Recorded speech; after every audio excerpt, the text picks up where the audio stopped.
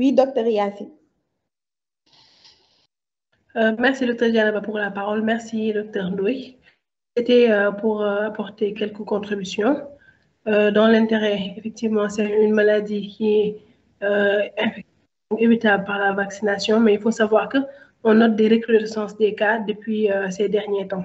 Je pense que ça aussi, il fallait le mettre, que ce n'est pas une maladie qui est carrément éradiquée, mais qui est toujours là. Et par rapport à la vaccination, euh, le ROR n'est plus euh, dans le PEV. Maintenant, c'est le RR. Donc, le vaccin anti-oreillon n'est plus dans le, dans le PEV. Donc, normalement, je ne sais pas, euh, une question, Dr. Geneva.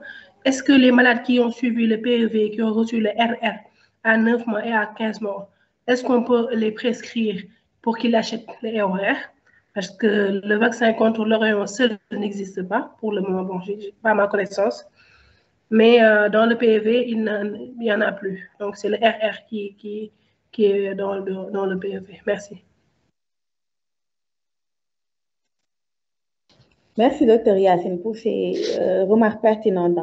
Effectivement, pour l'instant, il y a une rupture. C'est pour ça que le ROR n'est pas disponible. Et comme vous l'avez dit actuellement aussi, euh, comme vous l'avez dit, le vaccin monovalent seul n'est pas disponible.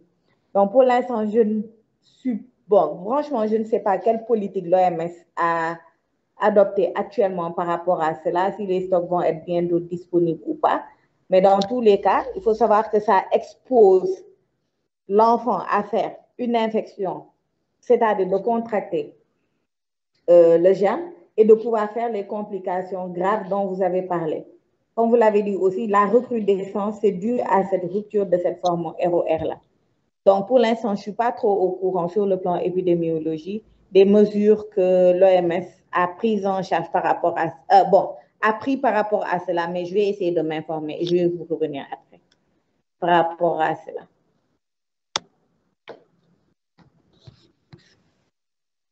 Merci. Et d'autres, il y en a une dernière question. Est-ce que euh, un enfant vacciné contre l'oreillon, ou bien qui a déjà fait euh, l'infection à son, sa pathologie, euh, comment dire, l'oreillon, qui a déjà contracté l'oreillon. Est-ce qu'il y a une immunité totale? Oui, est-ce qu'il y a une immunité, oui. Est-ce qu'il y a une immunité? Justement, ça, c'est la particularité pour les oreillons. En fait, on a montré que la vaccination, ça fait une protection incomplète. Parce que plus l'enfant grandit, plus l'immunité euh, diminue avec le temps. Il perd les anticorps. C'est pour ça qu'on dit que la particularité pour l'oreillon, c'est ça aussi, c'est une protection incomplète. Parce qu'à mesure que euh, l'enfant grandit, l'immunité diminue. Donc, pas de protection totale. On peut le contracter à nouveau. D'accord, merci. Mm-hmm. Est-ce qu'il y a d'autres interventions?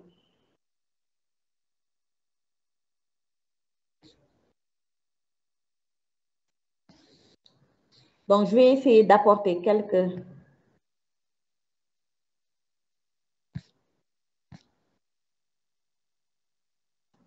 éclaircissements sur cette partie. Il nous reste une heure, je pense qu'on aura le temps de faire les deux derniers cours. Donc, épidémio, ici aussi, ça a manqué. J'ai remarqué que dans, dans vos cours, vous ne faites pas beaucoup de revues de la littérature. Il faut toujours faire une revue de la littérature pour savoir à quel stade on se situe concernant tout ce qui est maladie infectieuse sur le plan épidémiologique, c'est important. Donc, pour euh, l'incidence maximale pour les oreillons, il faut savoir que c'est plus en fin d'hiver et en début de printemps que ça apparaît. Excusez-moi. Euh, en fin d'hiver, début printemps, que l'incidence est maximale, c'est-à-dire qu'on retrouve le plus de cas. Donc, c'est plus chez les enfants d'âge scolaire, vers l'âge de 2 à 9 ans, qu'on retrouve plus cette pathologie.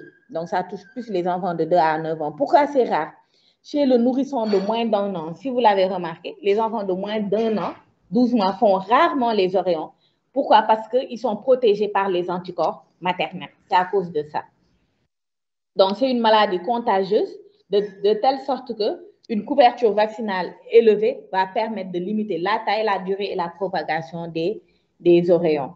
Donc, aux États-Unis aussi, il y a une diminution de 99% des cas d'Orion depuis qu'ils ont fait la vaccination, qu'ils ont adopté la vaccination systématique chez eux.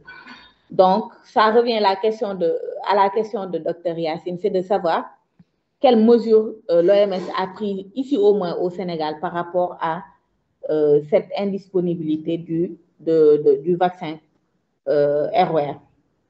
Donc, pour la transmission, vous l'avez bien dit, gouttelettes de flûte ou bien contact direct ou indirect avec des, des objets ou manuportés. Donc, pour l'incubation aussi, vous l'avez bien dit, l'excrétion virale se fait dans les sécrétions respiratoires pendant 12 à 25 jours. Vous avez parlé de l'otalgie, du gonflement parotidien, mais il faut préciser aussi qu'en dehors du gonflement parotidien, vous avez un effacement de l'angle de la mandibule. Et en général, quand vous faites l'examen endobuccal, il y a un signe particulier que vous pouvez retrouver. C'est un érythème de l'orifice du canal de Sténon qui est élargi. Le canal de Sténon, comme vous l'avez montré sur votre image là, c'est le canal excréteur de la glande parotide. Donc, quand vous faites l'examen endobuccal, on regarde ce canal de Sténon là, vous allez avoir un érythème. En même temps, vous allez voir que l'orifice est élargi. C'est visible. Donc, tout ça sont des signes en faveur en fait de l'oréon. Donc, ça peut être unilatéral ou bilatéral, mais dans 90% des cas, c'est bilatéral. Lorsque vous avez une forme unilatérale seule, avec des signes infectieux patents, il faut plus pencher à, bon, il faut plus s'évertuer à éliminer une parotidite bactérienne plutôt qu'une parotidite virale en, en, en, en, rapport avec le paramyxovirus. Donc, les complications, c'est comme vous l'avez décrit, c'est atteindre des autres glandes, surtout l'orchiépidémique et l'ovarite. Donc, ça, il faut toujours l'avoir en tête. Quand vous avez des enfants qui présentent des oreillons, il faut au moins, s'il est de sexe masculin, faire au moins l'examen des bourses. Parce qu'on peut tomber sur une orchiépidémique qui est passée inaperçue par les parents. Si c'est un sujet de sexe féminin, si elle se plaint de douleurs hypogastriques associées à une fièvre et des vomissements, il faut penser à l'ovarite au moins. Mais pour les autres complications, vous les avez bien décrites. Sur le plan de la biologie, pour le bilan d'orientation, donc il faut, il faut euh, insérer tout ce que je viens de dire dans le cours. Ce sont les éléments qui vous permettent de faire les diagnostics différentiels pour les cas cliniques. Donc, pour le bilan d'orientation également, il y a une particularité pour les oreillons, c'est qu'en dehors d'une leucopénie avec lymphocytose, comme vous l'avez dit, euh, lorsqu'on dose l'amylase sérique, on tombe souvent sur une concentration qui est élevée. Donc, c'est également une particularité. Donc, le bilan de certitude, c'est comme vous l'avez dit, si c'est une forme bilatérale simple, on n'a pas besoin de faire une confirmation biologique. Mais si on est au stade de complication, ou bien un sujet immunodéprimé, ou bien on n'arrive pas à faire le diagnostic différentiel avec une parotidite bactérienne, dans ce cas-là, euh, il faut euh, faire euh, la certitude de l'infection à paramyxovirus par culture, sérologie, avec IgM, IgG, augmentation des titrages et la détection par PCR.